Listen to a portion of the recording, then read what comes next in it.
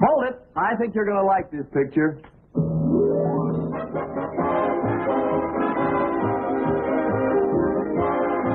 Love That Bob. Starring Bob Cummings.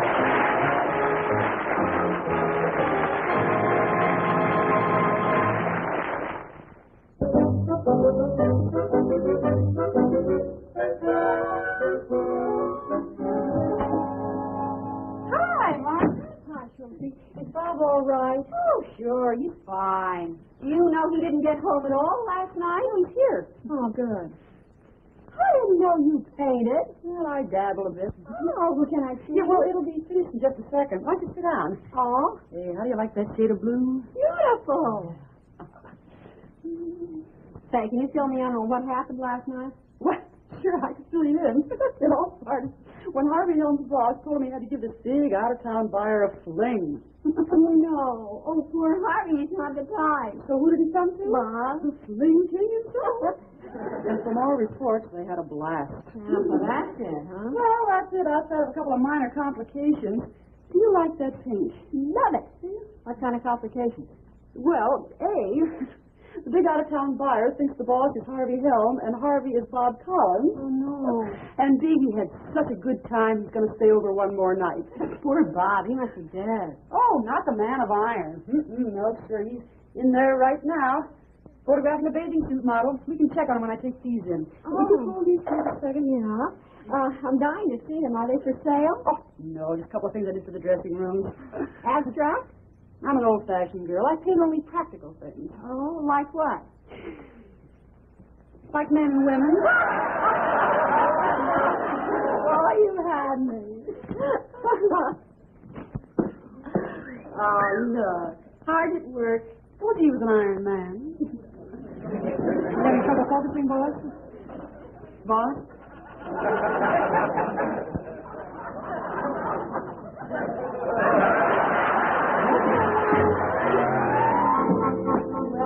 Well, you if he gets 24 hours sleep now, he'll be all right, and I'm sure he'll get... Good afternoon, ladies. Harvey, how nice you look. Thank What's you. the occasion, Mr. Helm? Well, ladies, you are now looking at the new vice president of the Gravener Furniture Company. Congratulations! You. Oh, that's wonderful. You. so. When did this happen? Tomorrow morning. Yes, just as soon as Bobby hands me that order from Mr. Henderson. And if he entertains him tonight the way that he did last night, oh, it'll be quite an order. Oh, at last I'll get Ruthie off my back about that raise. You may have some bad news. Oh, Margaret, what could be bad news to me today? oh, nothing. Bob can't entertain Henderson again tonight.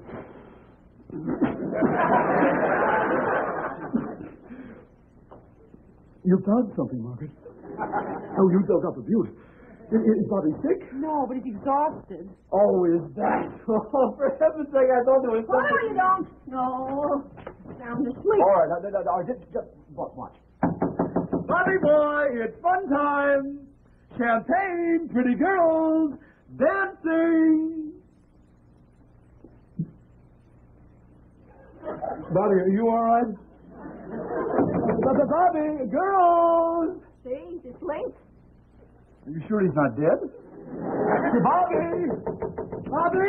Now, be reasonable. Yeah, he was up all night and he's worked all day. No, He can't take another night. You don't understand. He has got to entertain Henderson. Please, let me talk to him. He'll do it for me. No, no. The last thing he said before he dropped off was call Harv, tell him I can't make it. That's right, Mr. Helm. Well. Well, I guess that this is it. Yes, I'll just have to face Ruthie without that raise. Oh, I'm sorry. Oh, it's all right. When your number's up.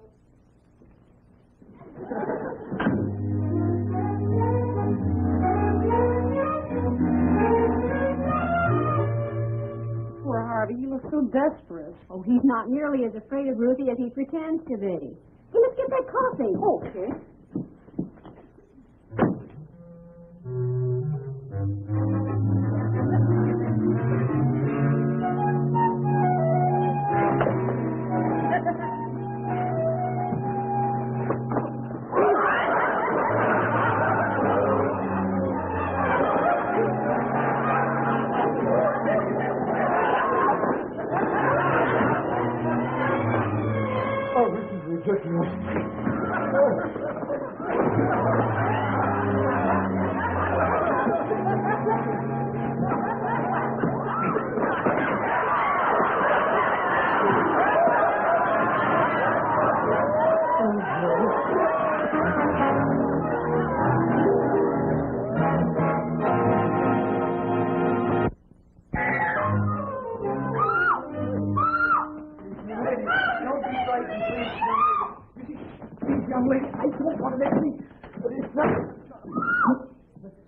I'm sorry that she woke you with her screaming, but, uh, oh, dear.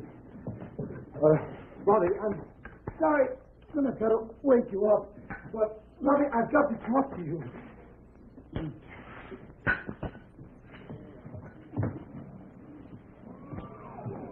I'm sorry, old buddy, but I'm desperate.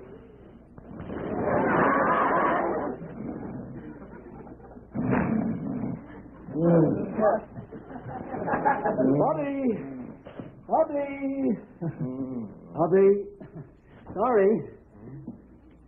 Hi, Harv. I'm sorry I had to wake you, Bobby. Oh, gee, I'm, I'm glad you did, Harv. Golly, I was perspiring like crazy. How how long have I been asleep? Oh, hours and hours. Well, you look very rested. It seems I do. Gee, it's funny, I still feel tired. I mean, Harv, I think I better change this shirt. All right, buddy. You go in and get all ready for tonight.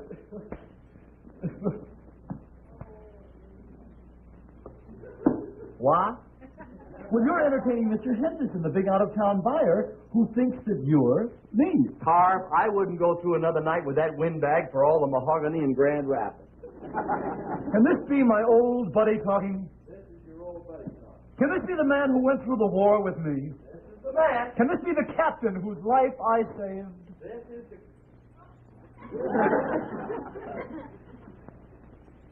Now, what are you talking about? I'm talking about that terror-filled day over France when I jumped from a B-25. Ah. oh, Harv, I don't remember that. You don't. We had to jettison later, crash. You're not ringing a bell with me. Well, it was the day that you had brought along a stowaway, a sergeant. Oh, Harv, that's ridiculous. She was a beautiful waif named Helen. You know that I've eaten them. oh, that's trip. Yeah. Yeah. Oh, you, you, you, you jumped, huh? Don't you remember?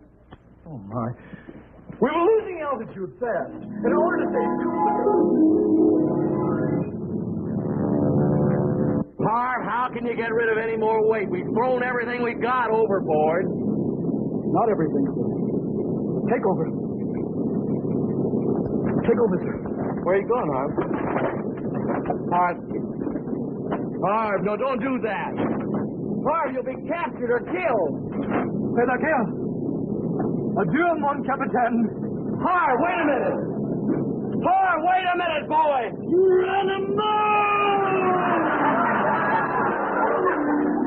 Did that bring it back to you? Yeah. Yeah, you're brave, all right, Harv. You're brave. Look, since you're so brave, why don't you just run on home and face Ruthie and tell her that you didn't get a raise? I may be brave, but I'm not out of my mind. Well, neither am I. And I'm going to go to bed tonight.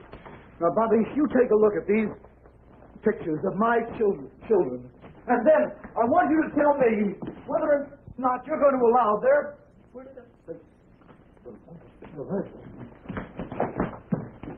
Bob Bazaric, Clint Avery, and Irv Johnson. Dr. Paul.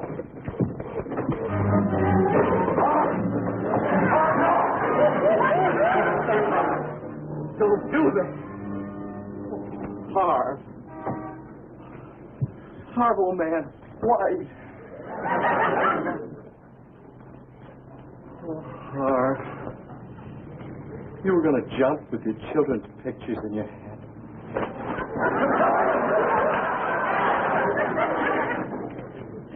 I had no idea this meant this much to you. Okay.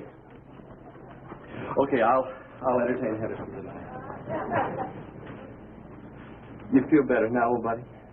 I'm fine, man. Good. My, don't ever do that again, Harv.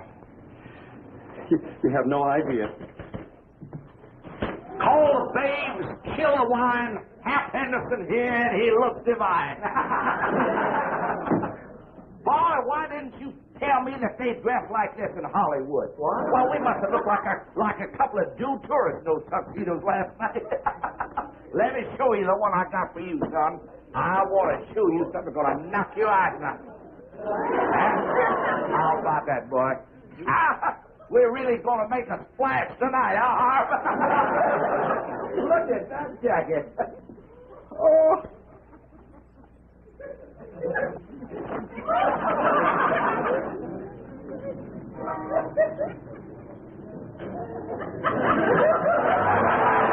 Oh, boy, now there's a real cute number. Yes, sir. She's one of my top models. Say, uh, why don't you give her a jingle, boy, and join Harv and me tonight? You know, you look like a man who could use a little fun. Thank you, sir. Mr. Henderson, sir. Hap. But, Hap, sir. But I have work to do tonight. You know something, Colin? What, sir? You are really dull. Uh, yes, sir. I suppose I am, especially compared to my friend Harvey Helms. Oh, you can say that again. It's a good thing you ain't in the furniture business, boy. You couldn't sell an ashtray to Edward R. Murrow.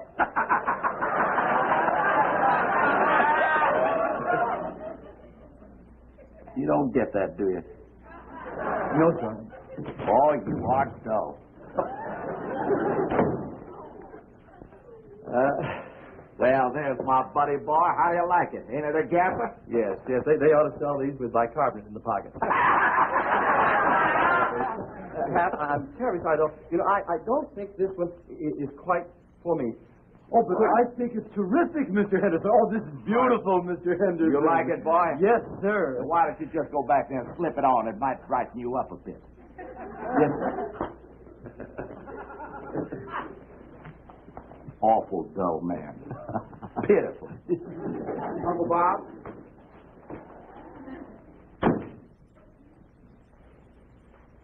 Uncle Bob, can I catch a ride home? Sure, Chuck. Oh, hello, Mr. Helm. Hello, Chuck. Hi, Uncle Bob. Hi, Chuck. Mr. Helm, Look, uh, Bobby, I tell you, I know how terribly busy you are, so I'll just run your nephew home for you. Oh, thank you very much, Harvey. Hold it, boy.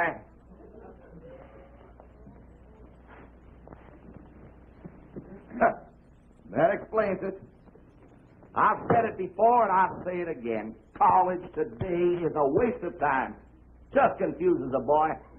Collins, why don't you pull this boy out of school and put him to work here, taking photographs of these models? Yeah, how about that, Uncle Bob? Well, we'll talk about that, Chuck. Right now, you run along with Mr. Helm. Yeah, yeah, come on, Chuck. Uncle Hap, I'll call you later at, at the hotel. Right, all right. You better pull me out of college before I'm a complete wreck. Oh, that boy is confused.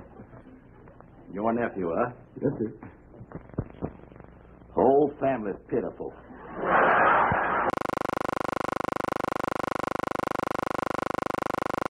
Well, Thomas, you've got prediabetes. But with more exercise and a change in diet, it can be reversed.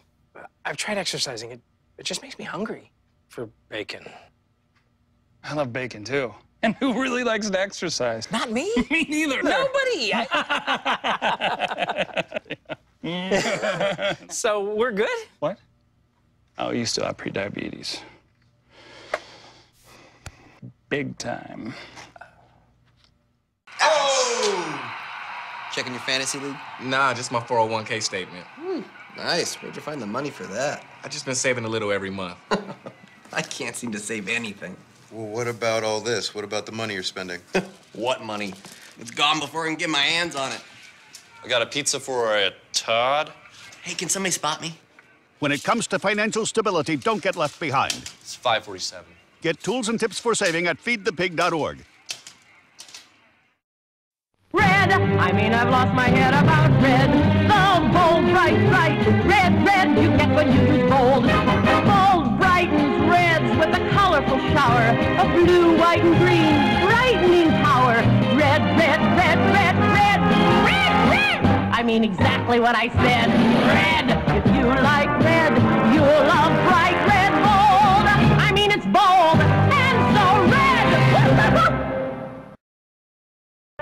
It was the first full decade of sound movies, a time when men were men, the women were stylish, and the world was black and white. Personally, I think it's a lot of hooey. This was the 1930s when new stars appeared, as did a new sophistication. The whole thing smacks of chicanery. And things got a little daring. Sample this fascinating era of change every weekday on Channel Pittsburgh's Matinee Movie. I hope it turns out all right. The play's the thing, as Jack Lemmon and Eva Marie Saint find romance in the world of Tin Pan Alley. I wonder if those steamship lines allow you to change your wife.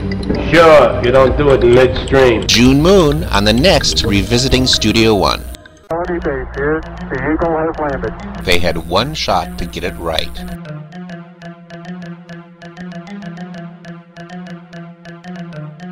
Relive America's flight to the moon on the next Moments in Time.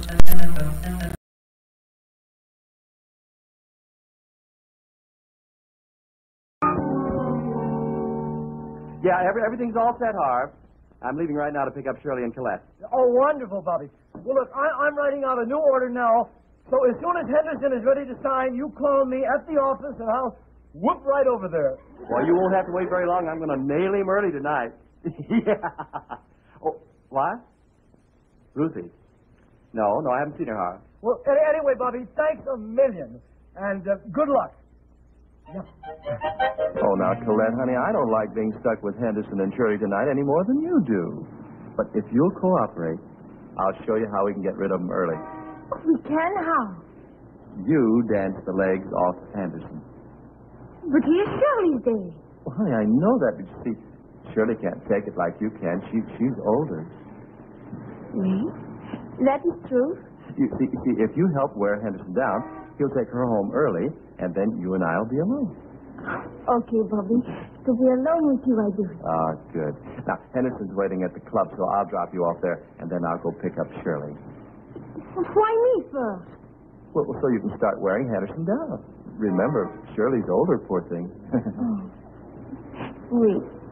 Hello, Mother. This is Harvey. yes, is Ruthie there? Oh, oh, no, no, no, no. There's nothing wrong. No, no, I just thought that she might be visiting with. No, we haven't quarreled, Mother Tuttle. no, no, you see, I was just talking with Bobby, and he said that she wasn't. I didn't say I was with Bobby. I said I was. Mother Tuttle, believe me, there's nothing wrong. You see, I'm just trying to locate. I did not strike your daughter. Mother, I am mere. I I am not raising my voice. You... Oh, my aching uncle.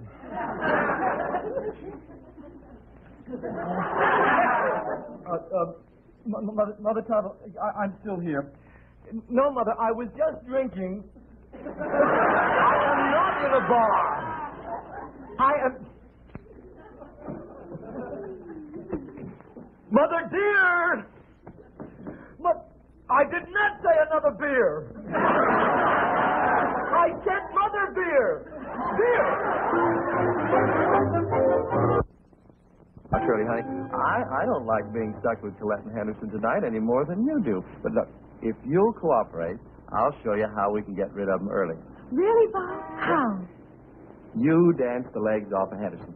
Well, why me? It's Colette's day. Oh, I know, honey, but you see, oh, poor Colette, she can't do it. She, she's older than you are. But Well, honey, I, I thought you wanted to help me get rid of them early so we could be alone. Oh, you know I do. Oh, good. Then, then you'll help Colette wear down Henderson, huh? I'll dance his legs off. Oh, that's my baby. Oh, hello, Mrs. Helm. Hello, Chuck. Say, your mother just called. We're looking for you. Really? Yeah, would you like to use the phone? Oh, yes, thank you. Uh, would you please give this to Margaret? It's some very special nylons that we've been looking for everywhere, and I finally found them out in Westwood. Sure, Mrs. Helm. Hello, Mother. It's Ruth.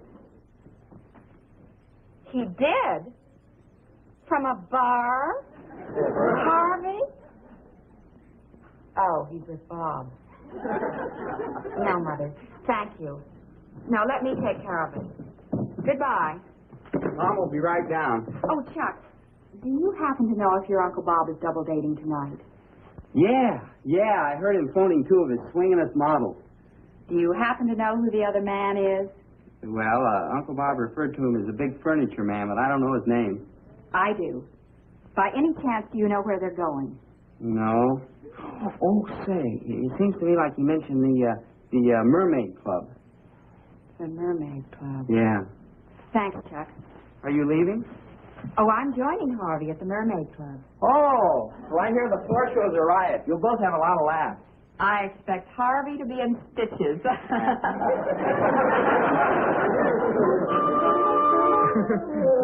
Have got him worn down, eh? Wonderful. Well, look, I've got the order all ready. I'll be right over.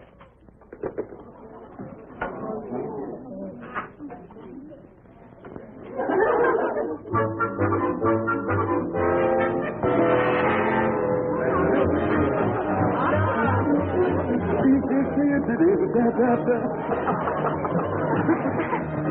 come on, Ricky. Hey, uh, I wonder what happened to old Harv. You don't think he's mad because you gals would rather dance with me, do you? well, hi there. oh, too late, honey. I guess you stuck with him. I think I have a run in my stocking. oh, look. Hey, uh, where you been, Harv? Well, I was making a few phone calls. Hey, good. I think the blonde was pooping out.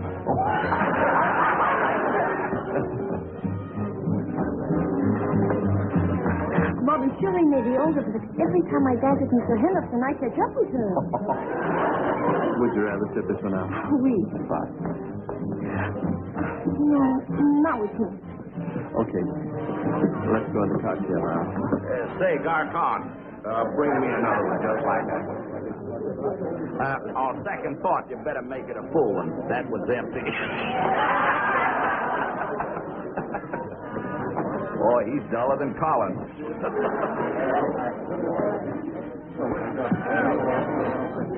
well, hello there. Is this Mr. Helm's table? Well, it sure is, honey. Hey, when that Harvey makes a phone call, he sure gets results. uh, Henderson's my name. H.R. Henderson. My friends call me Hap. Oh, where are Mr. Helm and Mr. Collins? Oh, that Collins is just too dull for us. But uh, old Harvey's out there dancing up a storm with a little French babe. I don't see him. Well, maybe they're sitting this one out. yeah. You know an old Harv long? Long, but not well. Well, you're going to know him well before this night's over, honey. that boy is faster than a hog heading for a bowl of chitlins. Tell me more. Man, I've had me some wingdings in my time, but last night with old Harv and those two gals was the blue tail, fur covered, apple knocking end. And then you were with Mr. Helm last night, too. oh, honey, we had us a ball, I tell you. And he told me he worked late last night at the office. honey, he worked late, but not at the office. Say, uh, would you like to dance, sugar? Well, thank you, but I think I'll see if I can find Mr. Helm. Oh, I don't believe I got your name, honey. Uh, Mrs. Helm. Mrs. Helm. Yes. Oh, that's a lovely name. Oh, these California. Mrs. Helm. Bobby, oh, you didn't you didn't wear them. Bobby, I've got the contract all ready to sign. Oh yeah. Uh, good evening, Mrs. Blah. Come and see her? Okay, Harv. Let's go to the table and get his signature. well, well, wait a minute, Bobby. Uh, Mr. Henderson doesn't like me very well. I think that I'd better wait right here. Okay. You dance with Colette. I'll get it. Well, Oh, congratulations. Bobby says this has been a big race for you. oh, Mr. Block, in just one minute, I am going to be in clothes. You doing there? fine, boy, fine. You know, we wouldn't want anything to get in the way of our having a good time tonight, would we? Well, no, boy. Why don't we just get this furniture order signed and out of the way? All right. That's it. Where'd I put that, John Henry? Right on the, on the top line there. Top line. That's all. Uh, tell me something, Harvey. You a married man? Married me? Are you kidding? Why, uh, surely, honey. Am I married? Tell him. Married? You? Not yet. There you see. I must have heard wrong. Uh, where'd I put that now? Right on the top line. There, that's fine.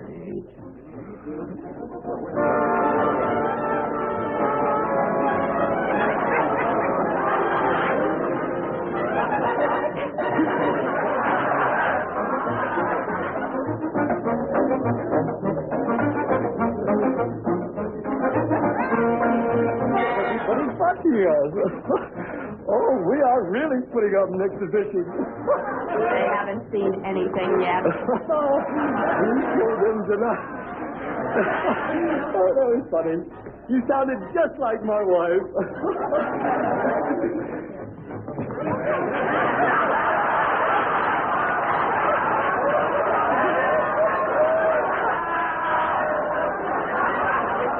That's, that's it. Right there. Fine. Well, Hap, thank you very much. That does it. My pleasure, boy. Well, Say, uh, here comes that little lady who said she was Mrs. Helm. M- M- Mrs. Well, my goodness. Mother. Hey, will you ask him to call me as soon as he comes in? okay. Oh, just a second, Mr. Helm. Here he is. Uh, calling in New York. Gus Simon. Morning, boss. Vice President Helm wishes to speak to you. Well, congratulations, Harv. What are you going to do to celebrate? Bobby, I am going out and I'm going to buy me the biggest, the thickest, the juiciest steak in town. Will you join me? You bet I will, Harv. I'll see you I hate to get personal, boss, but who gave you the shiner? Mother.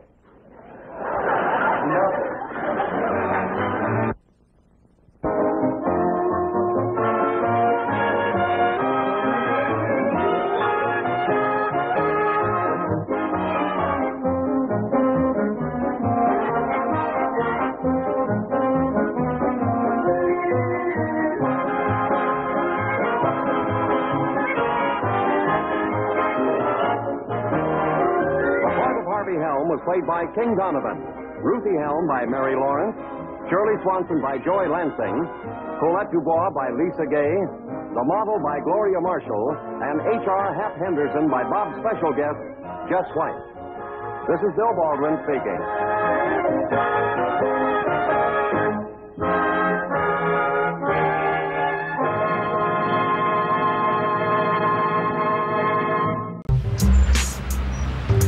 I'm one unlucky guy.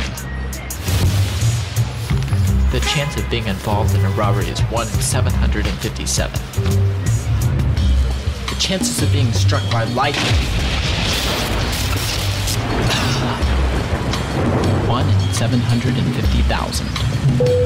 Please fasten your seatbelts for unexpected turbulence. The chances of being a victim in an airline crash? 1 in 29 million. Hey, could I get some peanuts? The chances of being involved in a car crash are far greater than lightning strikes and plane crashes. And if you are texting while driving, your risk of crash increases 23 times. Now, I may be an unlucky guy, but I don't have to be part of that statistic, and neither do you. Drive responsibly.